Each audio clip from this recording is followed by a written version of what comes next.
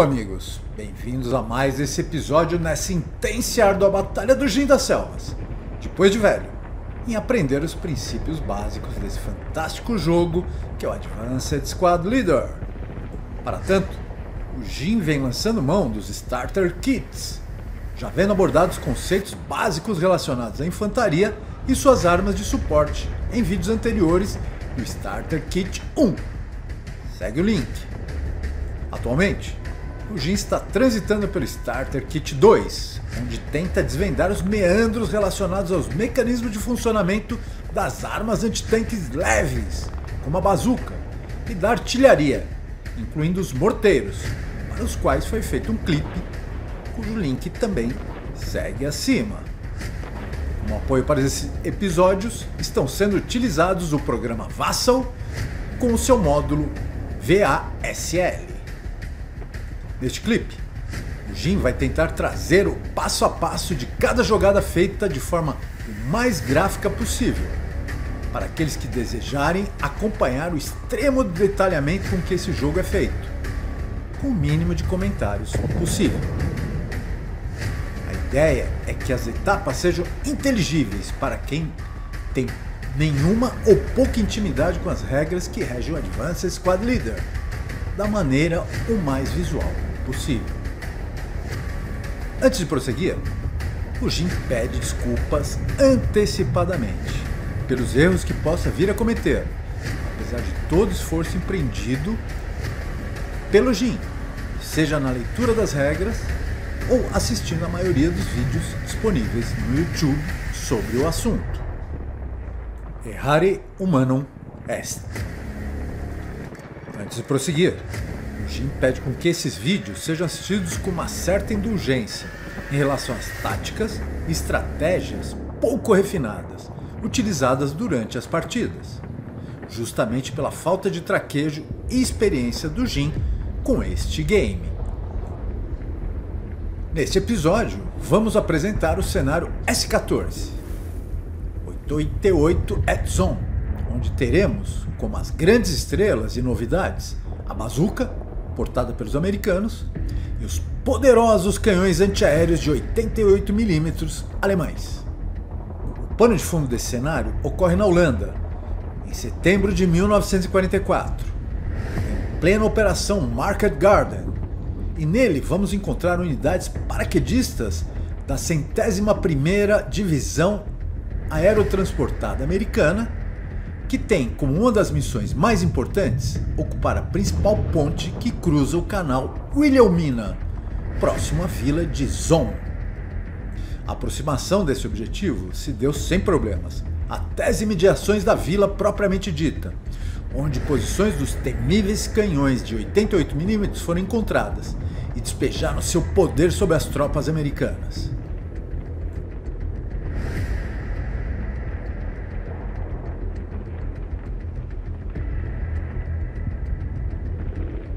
Disputando essa batalha, por parte dos defensores, vamos contar com as seguintes unidades: dois esquadrões de primeira classe, 467.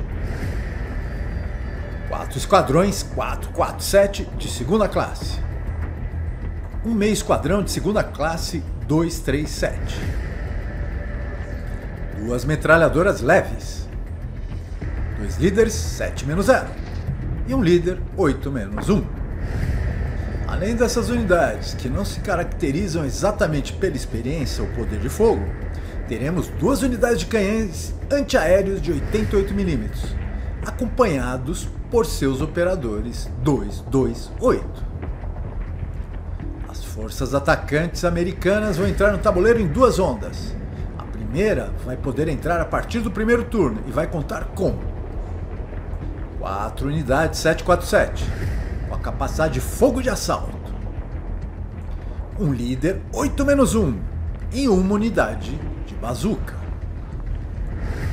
A segunda onda, que vai poder adentrar no tabuleiro a partir do segundo turno, vai contar com 7 esquadrões 747.